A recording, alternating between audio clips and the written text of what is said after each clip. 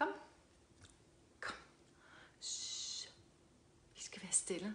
Så stille, at vi kan høre vores maver rumle og, og mumle. Hov, min mave, den siger noget. Den er sulten. Den vil have noget at spise. I dag er det den 25. ramadan.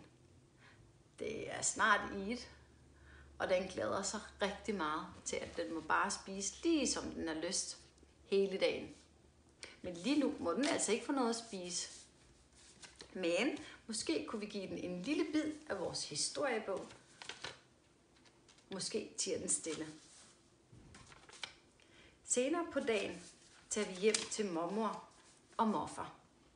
Aja og jeg har gaver med til vores fædre og kusiner. De har sikkert også gaver med til os, siger jeg til Aja. Prøv at se, hvor mange der allerede er kommet, råber jeg glad. Ja, der sidder farfar og morfar allerede i stuen, svarer jeg. Fred være med jer, hilser mor og far, i det vi kommer ind i stuen, og alle rejser sig op og hilser på hinanden. Hvor mange skal du give et gaver til i år? Og vil du fortælle mig, hvad de skal have i gaver? Det glæder jeg mig til at høre om. Vi ses i morgen til flere rumlende maver. Hej hej!